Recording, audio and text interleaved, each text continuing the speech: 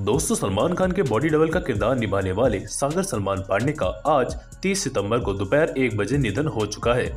आपको बता दें कि सागर सलमान पांडे अब इस दुनिया को अलविदा कह चुके हैं।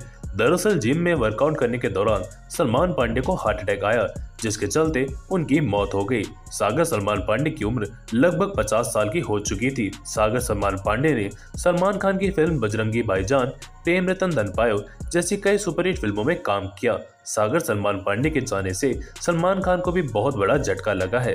सलमान खान के डुप्लीकेट का किरदार निभाकर सागर सलमान काफ़ी मशहूर हो चुके थे। सागर सलमान के दोस्त और शाहरुख खान के डुप्लीकेट राजू रॉय कुमार ने एक न्यूज़ चैनल से बात करते हुए बताया कि उन्हें एक बजे हार्ट अटैक आया, जिसके बाद उन्हें संविदा अस्पताल में ले जाया गया, जहाँ पर उन्हें डॉक्टर ने Bala Saheb doctor trauma center में भर्ती करा दिया।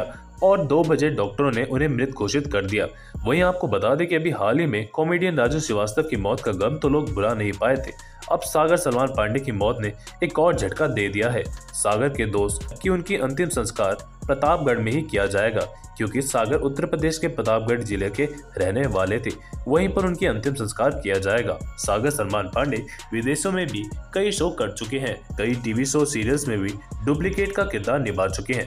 वेल तो दोस्तों, आपको ये खबर सुन के कैसा लगा? अपनी राय नीचे कमेंट बॉक्स में ज़रूर बताएँ और साथ ही साथ हमारे चैनल को सब्सक्राइब करना बिल्कुल ना भूलें।